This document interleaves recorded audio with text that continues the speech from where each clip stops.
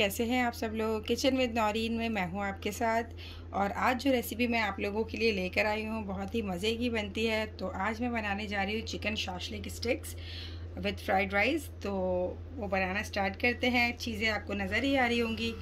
तो चले स्टार्ट करते हैं और उससे पहले अगर अभी तक आपने मेरे चैनल को सब्सक्राइब नहीं किया है तो प्लीज़ मेरे चैनल को सब्सक्राइब कीजिए। मेरी रेसिपीज़ को अपने फ्रेंड एंड फैमिली के साथ शेयर कीजिए। अगर आपको मेरी ये रेसिपी अच्छी लगे तो इसको लाइक ज़रूर कीजिएगा।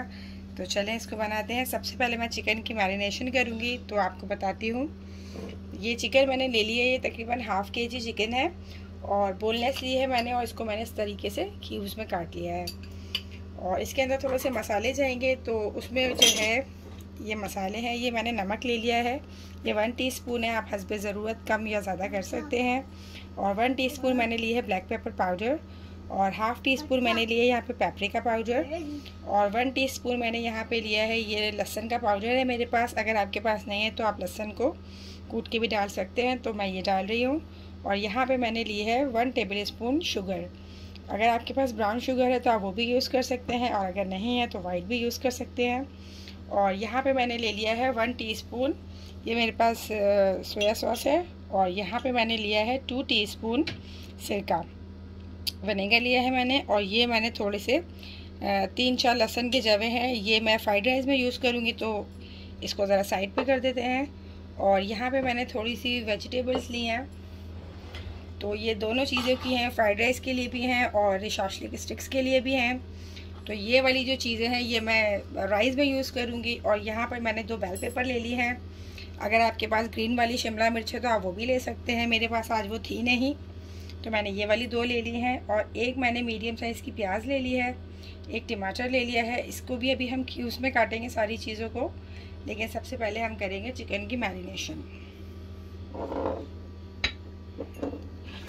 तो ये ले ली है मैंने। और इसको मैं करूँगी मैरिनेट। सबसे पहले मैं इसके अंदर डालूँगी सोया सॉस। ये मेरे पास डार्क वाला सोया सॉस है, विनेगर।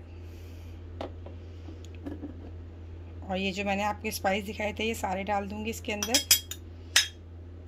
और इसको मिक्स करके आधे घंटे के लिए मैं मैरिनेट करके रख दूँगी। जब तक ये मैरिनेट होगा, जब तक हम अपनी बाकी चीज़ों की तैयारी कर लेंगे। वेजिटेबल्स वगैरह काट लेंगे। ये देखिए, बस हो गया अच्छे से। इसको मैं ढक के रख दूँगी और अब हम करेंगे थोड़ी सी वेजिटेबल्स की कटिंग। इसको साइड पे कर दिए और यहाँ पे मैंने ये वुडन स्क्यूवर्स ले ली हैं और इसको जो है मैंने पानी में इस तरीके से सूख करने के लिए रख दिया है क्योंकि ये फिर थोड़ी सी जलना शुरू हो जाती हैं तो ये इस तरीके से नहीं चलेंगे तो ये हो गया है। देखिए वेजिटेबल्स में आधी जो है ये वाली, ये बहुत बड़ी है मेरे पास। तो आधी मैं फ्राइड राइस में यूज़ कर लूँगी और आधी जो है मैं स्टिक्स के लिए यूज़ कर लूँगी।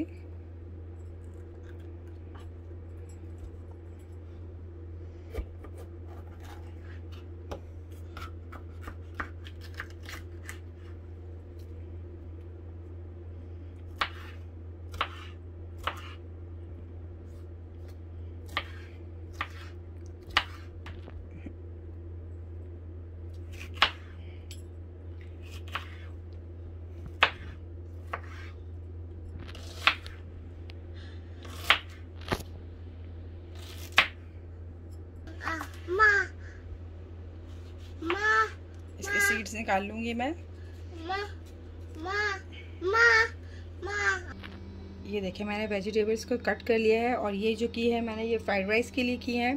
तो इसको मैं हटाती हूँ और अब हम स्टिक्स के ऊपर जो है अपनी शाशलिक की चीज़ें पोर करेंगे।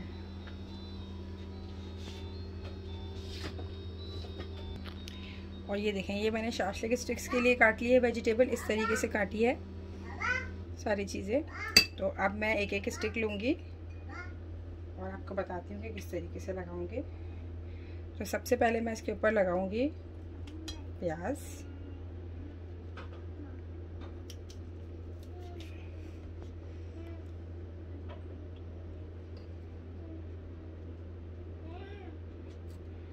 इस तरीके से पीछे करती रहूँगी। इसको टाइट टाइट हम करके लगाएँगे। उसके बाद मैं लगाऊँगी इसके अंदर टमाटो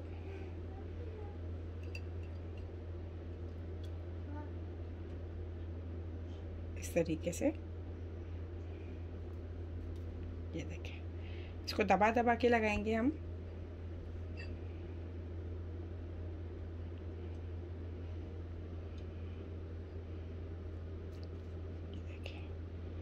उसके बाद फिर से प्याज लगाऊँगी।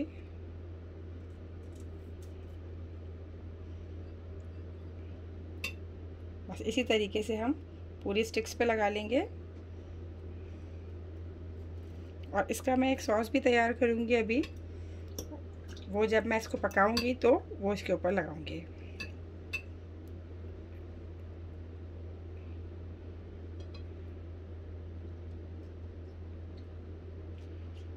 ये देखें अच्छी मोटी सी बनाएँगे। छोटी छोटी भी बना सकते हैं, अगर पार्टी वगैरह में बनाना हो तो। अच्छी लगती है वो भी।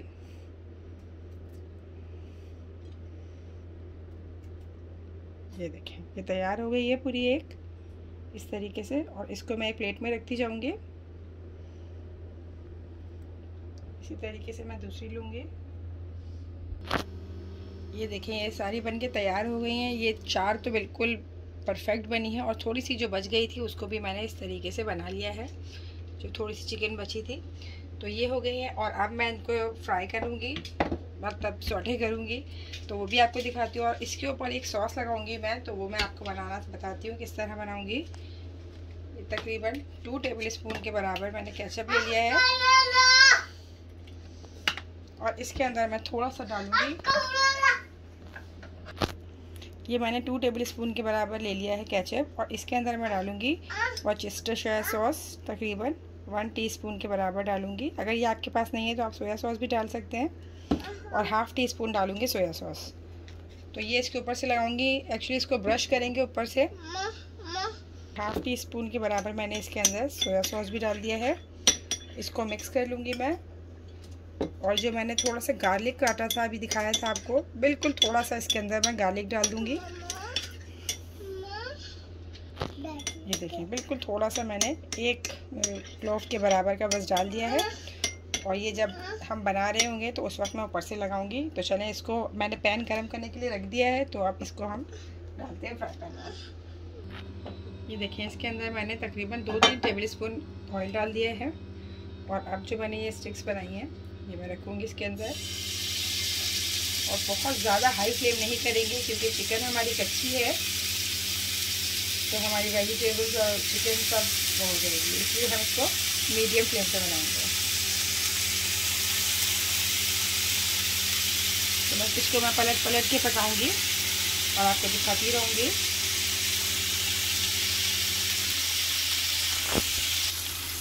ये देखें इसको तकरीबन तीन मिनट हो चुके हैं। ये देखें इसका अच्छे से कलर आ जाए।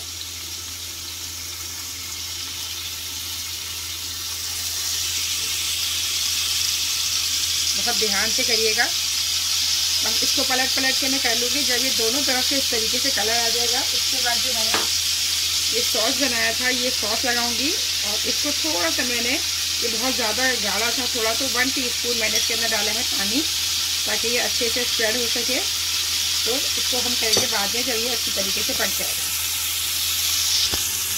ये देखिए, अब इस स्टेज के ऊपर, इसके ऊपर मैं जो सॉस बनाया था, वो लगाऊँगी।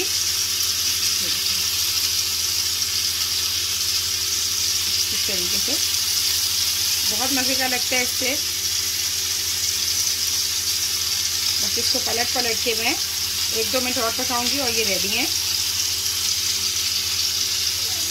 तरह से। ये देखें, ये बिल्कुल तैयार हो गई हैं। बस अब मैं इसको करूँगी डिश आउट और दूसरी तरफ़ अब जो है हम बनाएँगे अपने जो हमने फ्राइड राइस बनाने हैं। तो चले उसको बनाना स्टार्ट करते हैं और इसका चूल्हा मैं करती हूँ बंद। और यहाँ पे मैंने एक वॉक ले लिया है। इसके अंदर मैं डालूँगी तकरीबन फोर टेबल स्पून के बराबर ऑयल। और हम बस जल्दी से बनाएँगे। और राइस मैंने बॉईल कर लिए थे, नॉर्मली जिस तरीके से करते हैं। तो बस अब जल्दी से इसको तैयार करती हूँ मैं। ये देखें, सबसे पहले मैं ऑयल के, ऑयल जो है मेरा गर्म है। और सबसे पहले मैं डालूँगी ये, जो मैंने बिल्कुल बारीक बारीक सा लहसुन चॉप कर लिया था। इससे बहुत ही अच्छी से खुशबू आएगी इसके अंदर। और बस इसका हमने कलर चेंज नहीं करना है। और सारी चीज़ें मैं जल्दी जल्दी। एक साथ ही डालूँगी इसके अंदर। और मैंने ले लिए हैं दो अदद अंडे। और ये इसके अंदर मैंने बिल्कुल पिंच ऑफ़ नमक और जर्दे का रंग डाला हुआ है, जो हम नॉर्मली बिरयानी में यूज़ करते हैं। और कुछ भी नहीं डाले इसके अंदर, ज़रा इसके अंदर कलर डालने से जो है, वो अच्छा सा इसमें। एक येलो सा कलर आ जाता है, जो हम अमूमन बाज़ार में जाके खाते हैं। बस इसको ऐसे ही मैं जल्दी जल्दी ब्रेक करूँगी। तरीके से। और इसी स्टेज पे मैं इसके अंदर सारी डाल दूँगी सब्ज़ियाँ, जो मैंने आपको दिखाई थी। सबसे पहले मैं इसके अंदर डालूँगी गाजर। और गाजर के साथ साथ ही मैं डाल दूँगी ये बंद गोभी थोड़ी सी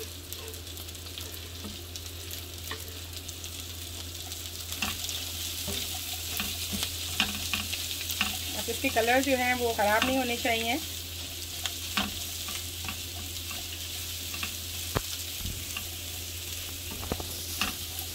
साथ ही साथ मैं इसके डालूँगी अब इसके अंदर डाल पेपर येलो वाली रेड वाली। सिर्फ़ मैं इसके अंदर जो है ये ग्रीन अनियन जो मैंने काटी थी, ये ये मैं अभी नहीं डालूँगी, इसको मैं बचा लूँगी एंड में डालने के लिए। और इसके अंदर बस मैं जल्दी जल्दी चलाऊँगी इसको, और साथ ही साथ मैं इसके अंदर डालूँगी थोड़े से मसाले। यहाँ पर मैंने वन टीस्पून के बराबर ले ली है ब्लैक पेपर पाउडर पाउडर नहीं है, थोड़ा सा क्रश है, ये अच्छी लगती है. हाफ़ टी स्पून मैं इसके अंदर डालूँगी वाइट पेपर अगर आपको ये पसंद नहीं है तो आप नहीं डालिएगा.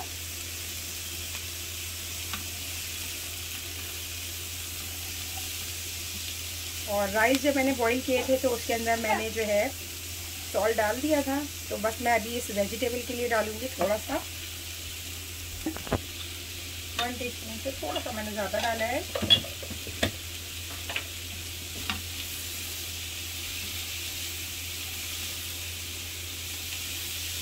और अब मैं इसके अंदर डालूँगी soya sauce. One teaspoon डालूँगी। अगर मुझे ज़रूरत लगी तो मैं जब राइस डालूँगी, उसके बाद थोड़ा सा और ऐड कर लूँगी। बस अब मैं इसके अंदर डालूँगी राइस मैंने दो कप बॉईल किए थे। आप देख लीजिएगा कि आपको कितने बनाने हैं तो उस हिसाब से आप बना लीजिएगा। ये देखें इसके अंदर मैंने डाल दिए हैं राइस अगर आपके पास रात के बचे हुए भी राइस पड़े हों तो बहुत अच्छे से बन जाते हैं फ्राइड राइस उसके भी। बस इसको मैं मिक्स करूँगी। ये देखिए, सारी चीज़ें अच्छे से मिक्स हो गई हैं और बहुत ही मज़ेदार से हमारे फ्राइड राइस तैयार हो गए झटपट और इसके अंदर मैंने सिर्फ़ वन टीस्पून जो है सोया सॉस डाला है और हाफ़ टी स्पून मैंने इसके अंदर ब्लैक पेपर और डाली है राइस के हिसाब से। तो ये बिल्कुल रेडी है और अब हम इसको करेंगे डिश आउट ये देखिए, मैंने डिश आउट कर लिया है और बहुत ही ज़बरदस्त ये बना है। और मैं आप लोगों को ये दिखाना भूल गई थी, मैंने डाली थी इसके अंदर ये ग्रीन वाली अनियन जो है। तो ये भी मैंने इसके अंदर डाल दी है और इसको डिश आउट कर लिया है और ये बहुत ही मज़े का बना है। तो आप लोगों ने मेरी इस रेसिपी को ट्राई करना है। इन आपको बहुत अच्छी लगेगी और मुझे अपनी दुआओं में याद रखिएगा। इन एक और सिंपल और मज़ेदार रेसिपी के साथ मैं दोबारा हाजिर होंगी। जब तक के लिए अल्लाह हाफिज़।